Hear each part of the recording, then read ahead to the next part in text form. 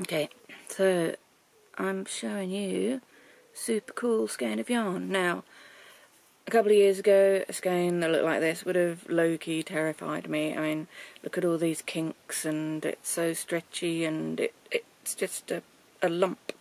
But actually, this skein is fucking magic because it's been wound in a figure of eight. So I have a loop here and there's another one down there somewhere, uh, which uh, means it's essentially like the cross when you're winding a warp when you're weaving.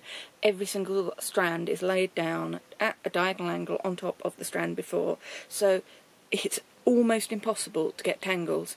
So this, even though it looks scary, is super easy to wind from. I have uh, here get the end out of the way, uh, my plying ball that I'm winding. This has got two strands of singles that uh, I'm winding together next to each other uh, and then uh, when I'm done that I will ply.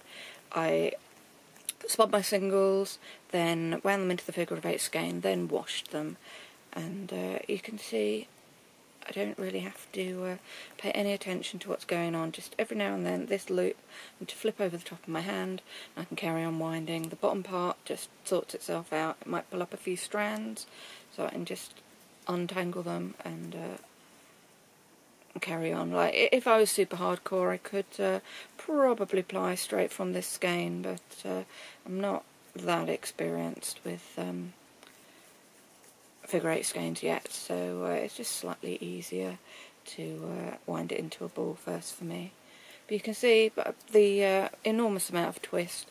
Every now and then it is causing these the strands to just get caught on each other, but when I pull it, the uh, top strand, which is the one I'm winding from, comes free, so uh, it's uh, much less tangly than it would look, it would appear at first.